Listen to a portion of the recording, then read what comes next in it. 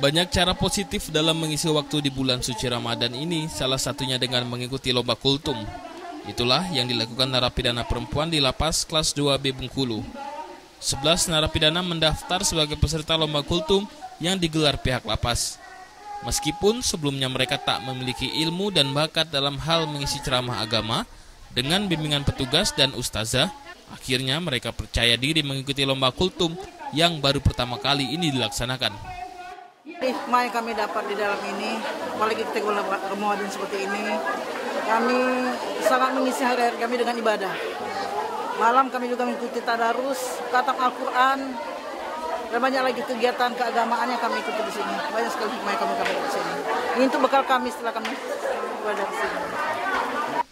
Pihak lapas perempuan mengatakan kegiatan yang baru pertama kali diselenggarakan ini merupakan bagian dalam pembinaan kepribadian untuk warga binaan perempuan. Hal ini juga untuk mendekatkan warga binaan mendalami agama Islam dan tidak menyia-nyiakan waktu di bulan suci ini.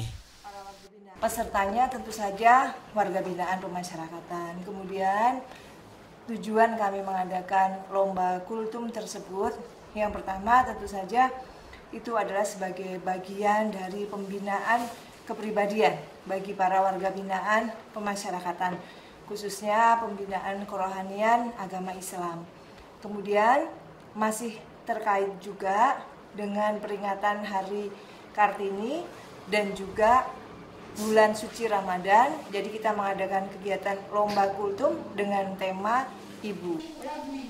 Momen bulan Ramadan ini diharapkan menjadi titik balik bagi seluruh narapidana menggapai hidayah menjadi pribadi yang lebih baik. Bayazir Al-Rehan, Kompas TV, Bengkulu.